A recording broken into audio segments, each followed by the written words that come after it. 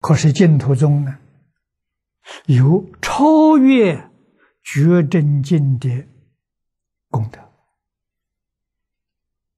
啊，这是不可思议的，这是无与伦比的。我们学了《无量寿经》就明白了，他是待业往生的。生到西方极乐世界，就获得阿弥陀佛四十八愿的加持。你要问他，他到生到极乐世界了，带的是一身罪业，可是他真往生了。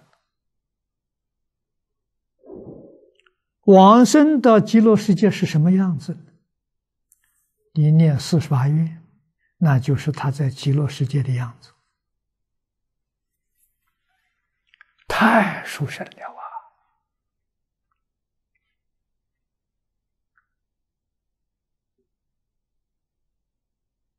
禅宗、信宗、宗门、教下，连密宗也比不上他啊！你才知道这个法门。无比殊胜啊！我们遇到要不能把它牢牢抓住，在这一生当中决定成就，那我们就真错了。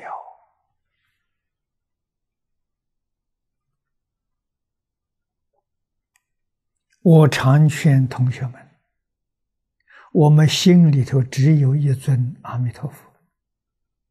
阿弥陀佛即是我心，我心即是阿弥陀佛。中峰禅师在系念法事里面为我们开导的，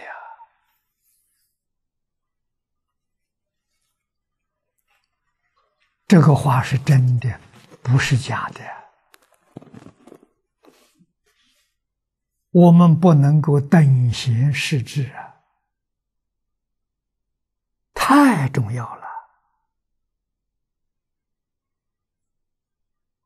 啊！跟这个相对应的，此方即是净土，净土即是此方，这个意思更深了。你什么时候证得呢？心里头全是阿弥陀佛，除阿弥陀佛之外呀，一粒尘沙都没有。你就见到，就在此地见到极乐世界。这就是大势至菩萨所说的：“一佛念佛，现前当来，必定见佛。”啊，这还得了吗？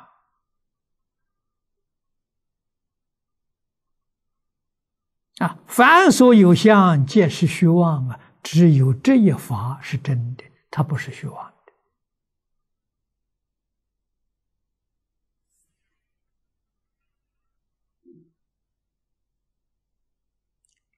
在这个地方，我们特别要重视着，去如大般涅盘，这叫法门。